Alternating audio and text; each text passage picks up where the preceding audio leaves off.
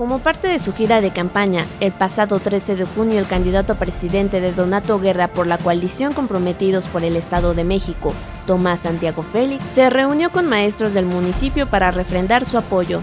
Los simpatizantes del partido Nueva Alianza dieron la bienvenida al candidato que también representa al Partido Revolucionario Institucional y al Verde Ecologista de México. En esta reunión, los docentes exigieron mejores servicios entre los que destacan. Materiales escolares, reparación de edificios escolares, este, pago de indigentes. Tomás Santiago refrendó su compromiso con este sector, el cual considera importante para el desarrollo de Donato Guerra.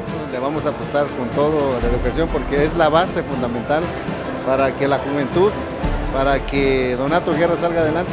Y sabemos que ahí está la base y ellos lo tienen y son gente muy comprometida. En respuesta a este compromiso, los trabajadores de la educación depositaron su confianza y apoyo este primero de julio en favor de Tomás Santiago Félix. Esta es la gente, este es el ejército que habrá de trabajar y este es el ejército que también pedirá cuentas más adelante de nuestro presidente, usted. Para TV Urbana Noticias, Tatiana Flores.